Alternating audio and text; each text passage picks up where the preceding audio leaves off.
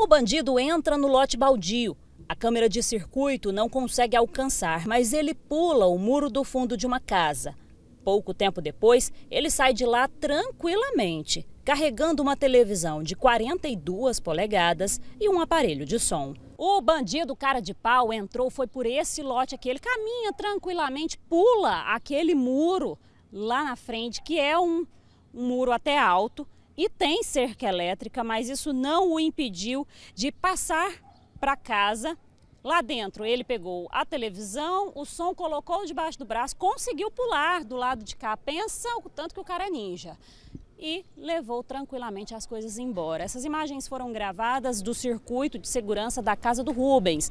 Rubens, quando você viu essas imagens, o que, que passou na sua cabeça? Paz, eu me senti muito. É fiquei com medo, para dizer a verdade, porque à luz do dia, em plena 4 horas da tarde, o cidadão vem nessa tranquilidade toda, faz esse roubo, esse furto e sai naturalmente, andando como se não tivesse acontecido nada.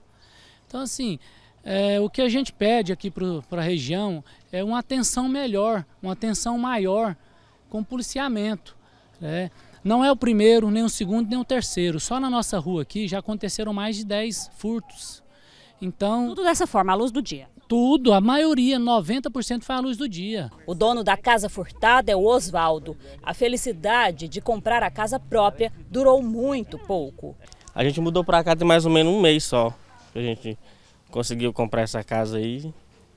Aí a decepção é muito grande. O cara não vai sair com a televisão de a pé nas costas para andar muito. Com certeza ele é aqui da região. E vem fazendo esse estrago aqui na rua nossa aqui, ó. A casa já foi assaltada? A minha não, mas a casa do meu vizinho, assim como mudei para cá com cerca elétrica e tudo, eles conseguiram entrar e levar os pertences dele aqui do lado da minha casa. Os moradores estão cansados de tantos roubos e pedem mais segurança. A gente quer mais patrulhamento né, da polícia, que a polícia passe mais, é, que escute as nossas ligações, né? Quando a gente vê, a gente tem um grupo da rua, então às vezes a gente vê algo, algo suspeito, né? Então a gente pede para que eles venham e eles venham.